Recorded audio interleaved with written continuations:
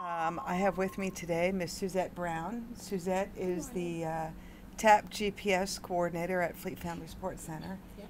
And uh, among uh, other things that she does over there, but I brought her in today to help me talk about um, TAP GPS because while I'm not an expert, I am a customer of the class.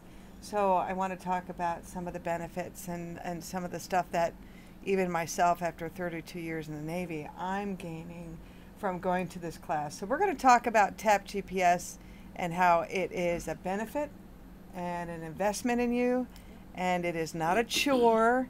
Uh, how many times do you hear the the the feedback or the the drawbacks is that you know of people talking about coming to Tap GPS before they get there?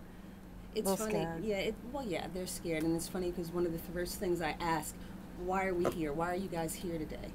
And they'll just stand there, sit there, and look at me, and I say, "Other than it's federally mandated and you're required, you know, because you need to think about how you're going to prepare for your transition, and it's not just you. For a lot of people, it's not just that service member; it's family members, it's spouses. So it's a lot to prepare and to get ready for that transition, especially if it's a, a separation only. Um, retirement, you have a little stipend, you know, something to fall back on, but a lot of separatees, they do not. So there's a lot of preparation when it comes to making that next step. I always say writing that next chapter. When should somebody go to Tap GPS, and when should they go back if they should? separatees, it's it's recommended at 12 months, and retirees it's recommended at 24 months, and and that's mainly because of benefits and things that you're entitled to, that you know, of course, the separatee is not. That may take a little bit longer to Ah, prepare for.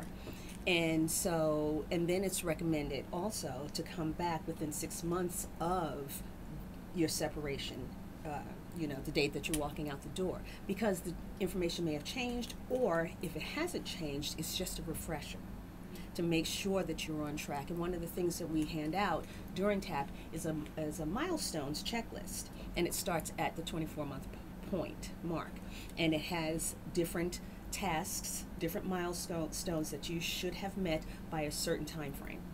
we have checklists and we have you know um, time charts and schedules to follow Absolutely. and we've invested so much into our mission vision goals of our commands policy and the the navy's goals and the cno's tenants and um, investing that time in ourselves and using that same kind of format Mhm. that gps has prepared uh, you know for us to do really does make this a little less overwhelming because there's a lot to think about when you separate, let alone retire.